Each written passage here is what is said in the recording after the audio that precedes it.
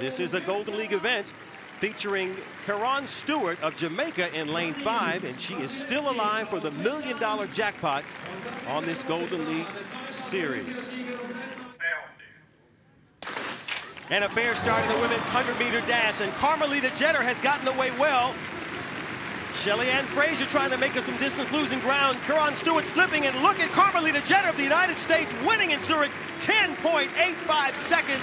She takes the win in Zurich, and Kerron Stewart is out of the running for the million dollar jackpot. And then there were three. And then there were three.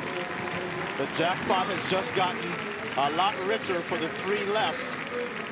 I really thought Shelly Ann Fraser would be the one. She was really not in this race, but wow, what a race by Carmelita Jeter. Her personal best is 10.83, and she was very close to that in winning tonight. And really, this was over from the first five or six steps. 10.86 there for Jeter, who is the winner.